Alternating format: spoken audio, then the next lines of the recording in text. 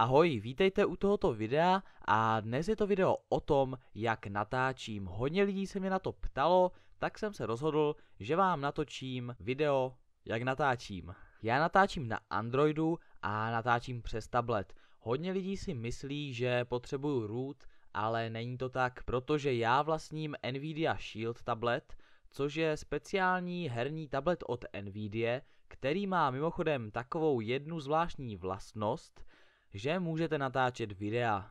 Je to úplně jednoduchý, stačí stáhnout horní lištu a hned tady máme uh, tlačítko share. Já na to kliknu a teď se mi zobrazí tabulka pro možnosti nahrávání. Tady je několik možností, první je streamování na Twitch, druhá možnost je autorecord, což znamená, že vám to nahrává nějakou smyčku třeba 10 nebo 20 minut a pořád se to opakuje a pořád je tam novější a novější záznam a ten starší se maže. A potom tu je manual record, což je klasický nahrávání, kdy nahráváte, eh, dokud to nestopnete. No a čtvrtá věc je screenshot, eh, což je na vyfocení obrazovky, na tom taky nic není.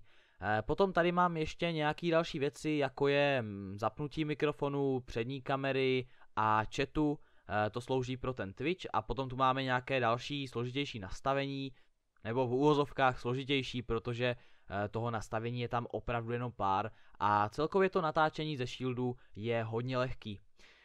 Takže jo, eh, já si myslím, že jsem to ukázal, doufám, že vy, co jste to chtěli vědět, co jste se o to zajímali, tak eh, teď jste uspokojeni. A doufám, že se vám tohle video líbilo, pokud ano, určitě dejte palec nahoru, nebo video sdílejte a nebo napište nějaký komentář. Já se budu těšit u dalšího videa, mějte se pěkně a zase někdy příště. Ahoj! A vypínám tlačítkem stop.